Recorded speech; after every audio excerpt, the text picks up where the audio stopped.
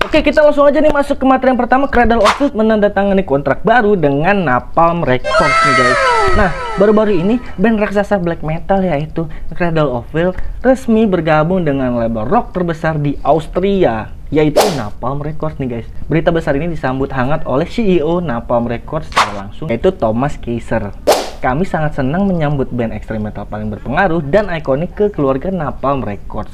Kami yang terus berkembang menjadi penggemar band ini sejak album pertama. Merupakan kehormatan besar dan kegembiraan bahwa kami dapat bekerja sama dengan mereka mulai sekarang. Kami siap untuk menaklukkan dunia metal dengan Cradle of Filth. Nah, keren banget gak tuh? Lagian selama di Nuclear Blast Records, menurut gue tuh Cradle of Filth nggak banyak ngeluarin taringnya tuh. Mungkin dibalik tuntutan label yang agak absurd, Terus juga budget yang disediain sama Nuclear Blast nggak cukup untuk mengcover semua produksi band ini nih guys. Walaupun sebenarnya Nuclear Blast itu memang benar-benar label terbesar metal di Eropa, tapi fakta menyakitkan harus diterima bahwasanya Cradle of Filth bisa dibilang tuh nggak meletek di bawah naungan label tersebut.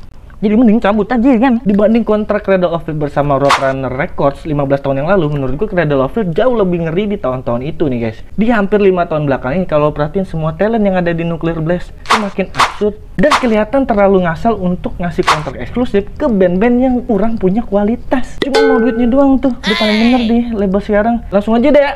Masuk ke materi yang kedua masih seputar Cradle of Filth Cradle of Filth berpisah dengan Richard Shaw dan Annabel Iratni selaku gitaris dan pianisnya. Awal bulan ini nih, tepatnya sebelum kabar kontrak baru dengan Napalm Records, Cradle of Filth harus menelan pil pahit bahwasannya Richard Shaw dan Annabel Iratni telah meninggalkan Cradle of Filth nih guys. Berdasarkan pernyataan Filth, perombakan itu tampaknya merupakan perkembangan yang ramah.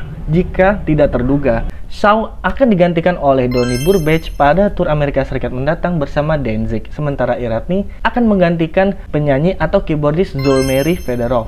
Nah, sejarah singkat Annabelle bergabung dengan Cradle of Filth sebagai pengganti Day Schoolcraft, ex Mary and the Black Lamb yang mengumumkan kepergiannya dari grup pada Februari 2020 setelah tujuh tahun berjalan nih guys. Dan Lindsay cukup sukses pasca kepergiannya meninggalkan Cradle of Filth dan membentuk beberapa project di antaranya Antifa Band, Coldbound, dan Astroplex. Lagi pula menurut gue cabutnya Annabelle juga nggak terlalu berimpact besar gitu ya kayaknya untuk Cradle nih. Karena Annabelle masih tetap aktif keanggotaannya dalam sebuah band bernama Devilman bersama Danny Field juga. Dan Fail Band bareng sama Charles Hedger ex Cradle of Filth nih guys. Nah jadi gini, walaupun mau cabut ke mana, mau cabut ke mana nih mantan personil dari Cradle of Filth, karir bermusik para anggota Cradle akan tetap dijamin dan bakalan terus bersenggolan satu sama lain ya dengan orang yang bisa dibilang itu-itu aja. Sebab fundamental kuat yang dibangun Cradle bukan kaleng-kaleng sejak awal. Jadi udah kayak perusahaan waralaba aja tuh ya. Jadi kayak Sabana sama kopi kenangan.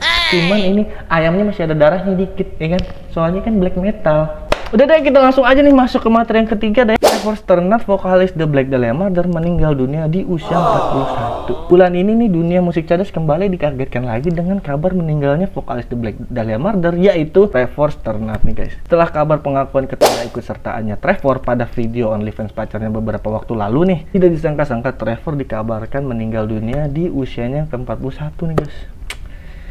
Sedih tapi mau gimana lah ya, kabar ini telah dikonfirmasi secara resmi oleh akun resmi dari Black Dahlia Murder. Dengan kesedihan yang mendalam, kami mengumumkan meninggalnya Trevor Scott Sternat, tulis postingan tersebut. Putra terkasih, saudara lelaki, dan support dari masa-masa indah dia dicintai oleh semua orang yang bertemu dengannya. Ensiklopedia berjalan dari semua hal musik. Namun sayangnya penyebab kematian Trevor tidak turut dipaparkan oleh The Black Dahlia Murder pada postingannya tersebut nih guys. Tapi sih ya tapi sih walaupun nggak dikasih tahu pun nih kita juga tahu nih kalau anak dan meninggal mendadak selain kecelakaan. Paling narkoba apa lagi coba ya kan? Masa iya karena terlalu banyak mengkonsumsi obat kuat buat syuting OnlyFans nah, mungkin sih kayaknya. Tapi sih kalau emang meninggal karena narkoba mah udah lah ya nggak usah didoain deh langsung kremasi aja udah ya. Udah lah ya daripada berlarut-larut karena berita yang makin wadidi wadidau nih ya kan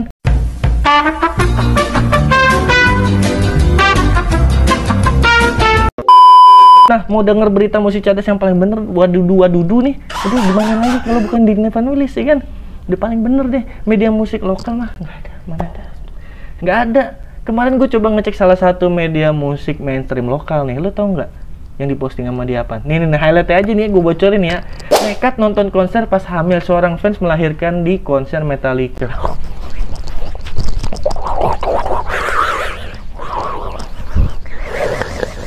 Yang kayak gitu diberitain ya udah beritanya itu yang di Brazil itu udah dua hari yang lalu baru di post sama media musik mainstream kita tuh baru di post nggak ada aduh gimana lah aduh.